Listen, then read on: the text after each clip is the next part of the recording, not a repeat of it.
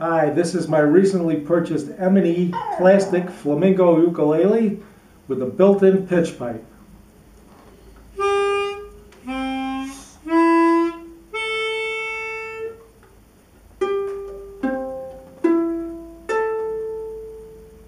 It came with the Arthur Godfrey Uke Player book, a felt pick, and the strap-on Arthur Godfrey Uke Player, which straps onto the fretboard and allows you to play chords by holding down a button instead of pushing down two or three uh, strings.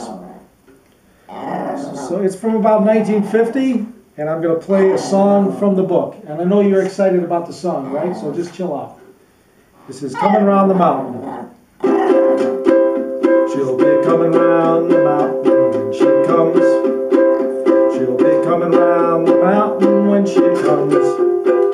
She'll be coming round the mountain. She'll be coming round the mountain. She'll be coming round the mountain when she comes.